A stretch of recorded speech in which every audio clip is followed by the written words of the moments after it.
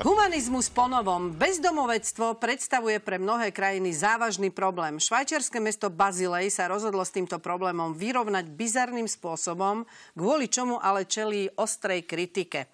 Ľuďom bez domova ponúka jednosmerný lístok na vlak, autobus alebo na lietadlo kamkoľvek do Európy. Má to však jeden háčik, e, že sa nesmú do toho mesta už nikdy vrátiť. O nekončiaci výlet zatiaľ prijavilo záujem 31 ľudí pôvodom z Belgicka, Nemecka, Talianska a Rumúnska. To je také zvláštne, nie? No zvláštne. Pozrite sa, to je takto. To sa hovorí, že bezdomovec, ale nie je to celkom presné, lebo tí bezdomovci majú domov tam, kde sú bezdomovcami. Tak Áno. na čo by išli do nejakého iného, cudzieho mesta alebo tam budú. krajiny a tam zase budú sa bezdomovci. prídu a tí bezdomovci, ktorí sú tam doma, tak Ale... tí budú hovoriť, čo tu chcete? Choďte si domov. Choďte si domov robiť bezdomovci. Ale s tým jednosmerným lístkom to je podľa mňa veľmi dobrý nápad. Nemali by to dávať iba bezdomovcom, ale napríklad nás, mnohých voličov by potešilo, keby takýto jednosmerný lístok dostali niektorí naši politici. A už no, to len problém je v tom... Vyriešila by sa koaličná kríza, má pravdu. Olga, ty si dnes Len problém je v tom, že kto by nám potom doviezol uh, Sputnik. Ani by sme sa nedozvedeli, čo nám tento istý politik doniesol z Ameriky. Takže neviem, či by to bolo dobré. Toto sú podľa mňa táraniny. Poďme no, ďalej. Ale ja... No? No. Nie, ja som len chcela povedať, že m- m- súhlasím s pánom Lasicom, že mne by napríklad tých našich z Devinskej bolo ľúto. No, my sme si už tam, na seba zvykli, my komunikujeme. Tam je ich do, kraj, tak, tak, to by sa neby, neby chýbali. Neby... Jako nebudeme predsa bezdomovcov oberať o ich vlast. Áno, áno, súhlasím s vami. Ja súhlasím tiež. No, a, ale... Ešte poviem, no, že pardon. oni sú, vždy keď no. ich spomínam, tak oni sú naozaj mnohí aj inteligentní ľudia, aj, lebo kto vie, ako začali a ako dopadli. A ja ich mám rada aj pre taký zvláštny zmysel pre humor.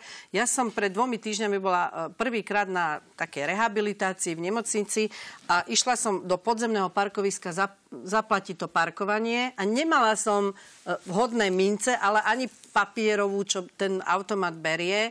No tak teraz už mám byť zase u očného, ako rýchlo. A prišiel taký pán, veľmi sympatický a povedal, ja to zaraz zaplatím. Lebo už som tam tak, fú, hovorím, akí ľudia dnes ešte žijú.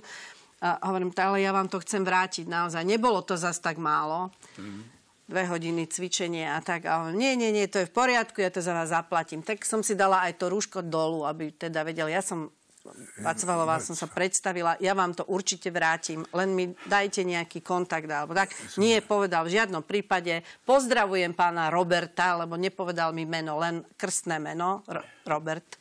Uh, ďakujem ešte raz. Ale teraz chcem povedať, Prečo že... pozdravoval Fica?